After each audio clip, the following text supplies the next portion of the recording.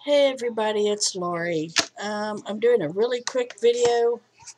My hair is just sorry. Um, quick video of some stuff I picked up yesterday, and then I'm going to do another video here in a few minutes to show you what I'm going to put in my bedroom, which is going to turn into my movie room.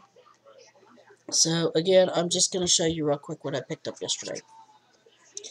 I got the slip cover for the Jaws 3 movie collection.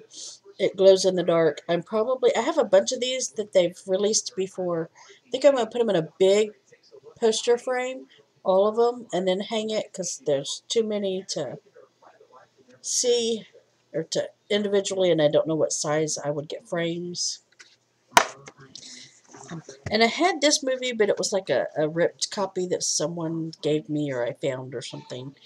So, Silver Bullet. I like this one.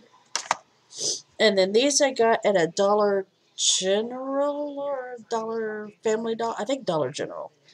Um, two bucks a piece. This one has Hellraiser 3, Hellraiser Bloodline, Hellraiser Infernity,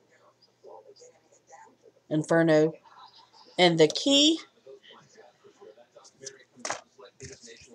Catch Hell. I, I have no idea. Um, House of the Dead. Last House on Cemetery Lane. And this one has the prophecy one, two, three, four, five. And Ray Bradbury, there was an old woman.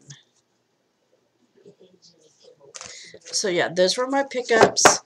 If you've seen any of them, let me know what you thought. Um, yeah, that was it short, sweet. On to my next one in a minute.